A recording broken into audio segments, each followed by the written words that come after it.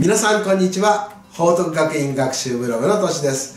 今回は子供の苦手を知るためのお母さんの社会の授業ということで日本の気候区分について取り上げます。子供たちが勉強がわからない覚えられないという原因の中に子供たちものを覚える時関連性を無視して全く別々のものとして覚えようとすると。実は関連しているから一つのことでつながりがあるものとして覚えれば楽なのに全く違うものたくさん覚えなきゃならないと。こういうイメージを持ってしまうことがあります。また理由を無視して覚える。理由さえ分かれば別に丸暗記しなくてもいいのに理由を無視して覚える。だから理解できないイメージできないと。こういうことがあるんですね。ですから今回はこの地域の人はなぜこうなるのか。ということも含めてお話を進めます。ここに日本列島を大まかに書きました。うまい下手は無視してね、えー、ください。で、えー、日本の北側には日本海ねありますね日本海。そして南側には太平洋という大きな海がありますね。日本の気候区分6つに分かれます、え、1番ここです。これ北海道の気候です、え、2番はこちら側ですね。太平洋に面している部分。これ太平洋側の気候と言います。で3番は日本海に面している部分ですね。この部分日本海側の気候です。そして4番の部分、え、ここはおよそ大体長野県ですね、この部分は内陸性の気候と言います。それから瀬戸内海の部分。5番ですね。瀬戸内海の部分は瀬戸内の気候。教科書ではこう扱っています。瀬戸内海の気候とは書いてなくて瀬戸内の気候となっています。で6番が沖縄を含む南西諸島の気候です。でこの気候区分とともにこのような気温と降水量、ね、これを表しているグラフも学習します。そしてどこの地域の気温がどのくらいで降水量がどのくらいというのがグラフで表されています。ここではこちら側に気温マイナス30度から40度まで。こちら側には降水量0から800ミリまであります。降水量というのは、えー、雨や雪が降った量のことです。で折れ線グラフになっている部分がこれはその月の平均の気温これを結んだものです。そして、えー、中上グラフ棒グラフねヒストグラフと言いますけれど、えー、こちらが降水量その月の降水量を表しています。そしてその上このグラフの上には年間平均気温16.2度 C こう書いてあるんですね。この年間の平均気温ねこの部分も、えー、とても大切な部分です。ではそれぞれの気候どんなグラフになっているのかもしこれ6つあるのに6つあってどれがどの、ね、グラフなのか、えー、選びなさいという問題だった場合。実は1番と6番はすごく簡単に選ぶことができます。この1番の北海道の気候。北海道って寒いでしょ？ですから一番寒いグラフ。これを選べばいいんです。どこを見ればいいかというと年間平均気温が一番低いもの。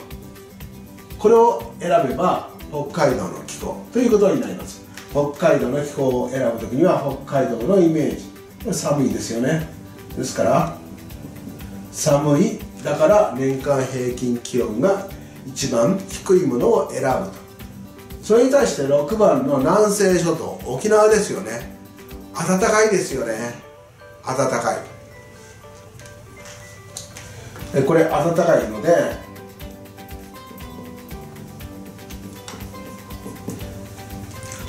年間平均気温が一番高いものを選べばこの南西諸島の気候ということになります。まあ、南西諸島はね降水量も年間通して多いのでそこからも選ぶことができます。では、えー、2番の部分ですね。これ太平洋側の気候、え、これを選ぶ時には降水量。この中上グラフの部分を見ます。そうするとこれ夏に降水量が多くなっています。それに対して3番の日本海側の気候。ね。これは冬に降水量が多いということになっています。ですからこの中上グラフが1月とか2月3月ね長かったらこれは日本海側の気候ということなんですね、えー、それに対してこの長野県のあるところ4番のところ内陸性の気候。ここは年間降水量が少ないんですよ。そしてここの瀬戸内の気候ですね。これも年間降水量が少ないんですね。じゃあなぜそうなるのかと。いうことについてこれ理由を説明していきますので一緒に覚えてください、えー、日本の気候に大きな影響を与えるものは季節風でした、えー、季節季節風は夏は太平洋側からこれ南東の風が吹きます。冬は日本海側から北西の風が日本に吹いてきます。えこの時どちらの空気もこの海の上を渡ってくるので水分も多く含んでいますよね。理科では水蒸気を多く含んでいるということになります。その時ですね日本のまず山を考えてください。日本は山がたくさんある国ですよね。東北地方にはこれ大山脈。ここにあります。そしてこの長野県の周りには日本アルプスと呼ばれる飛騨山脈木曽山脈赤石赤石山脈という山があります、えー、紀伊半島には紀伊山地もありますし今度中国地方には中国山地、ね、四国には四国山地というこういう山があるんですね。じゃあ夏です。夏これ南東の風が吹いてくるとちょうどこの山に当たりますよね。本州の部分ねこの大臼山脈と日本アルプスの山に当たります。そうするとこの山に当たった空気は山の南側で雨を降らせて水分が少なくなった空気が日本海側に行く。だから日本海側は夏は降水量が少ない太平洋側は夏降水量が多いと、ね、こういうグラフになるんですね。では冬。冬は日本海側を渡ってきた空気が同じようにこの山にそれぞれ当たります。そうするとこの山の北側で雨や雪を降らせます。そして雨や雪を降らせた水分が少なくなった空気が太平洋側に来るわけですよね。ですから太平洋側は乾燥した天気の日が続くという。これが日本の冬の天気の特徴ですね。ですから雪を降らせた。冬雪が降るこの地域。日本海側は降水量が多い。とこういうことになります。じゃあ4番のところこれ山いっぱいありますけど降水量少ないんですよね。年間を通して少ない。これなぜかというとこの4番のところですね、まあ、中央高地という部分なんですけど内陸性の気候の中央高地の部分。ここでは周りに大きな高い山があってそれに囲まれているんですね。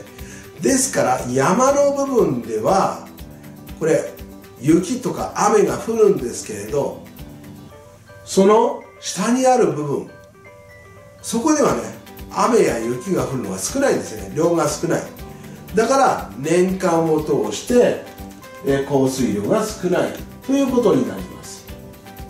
これに対してじゃあ瀬戸内海の瀬戸内の飛行どうでしょう？えー、夏こちらからね風が吹きます。この風はこの四国山地に当たって四国山地の南側の部分で雨を降らせます。そして乾いた空気が瀬戸内海の方に行くわけですね。冬は日本海側から、ね、湿った空気が来てこの中国山地に当たります。で中国山地のこの北側の部分で雪を降らせて水分が少なくなった空気が瀬戸内海に行く。夏も冬も瀬戸内海には水分の少ない空気が来る。ということでここの部分瀬戸内の気候って1年を通して降水量が少ない。ということになります。じゃあ4番と5番どちらも降水量が少ないのにどうやって見分けたらいいの？こうなりますよね。それは簡単です。この長野県の部分って高地ですよね。高い。ね。高いところって高原って言います。高原って涼しいでしょ。ですから降水量が少なくて気温まあ平均年間平均気温を見るんですけどその年間平均気温が低い方が4番内陸性の気候で、えー、年間平均気温が暖かい高い方は5番の瀬戸内の気候とこのように見分ければいいよいいわけですね。で日本の気候の名前この6つの名前は覚えなくてはいけません。でもなぜそういうね気候になるのかっていう理由はこれどうしてなるのかという理由ここから吹いてきた夏の風山に当たって山の南側で雨を降らせる。冬は、ね、日本海から吹いてきた北西の空気。これが山に当たってこの山の北側で雪を降らせて乾燥した空気が太平洋側に行くと。こういう理由をしっかり覚えていけばそこからどのグラフがこの地域ということがわかるわけです。理由が分かると実はね覚えやすい暗記もしやすいんですよね。ですからお子さんに教える時または見ているのが本人でしたら覚える時には是非理由も含めて特色覚えてください。ではまたお会いしましょう。さようなら。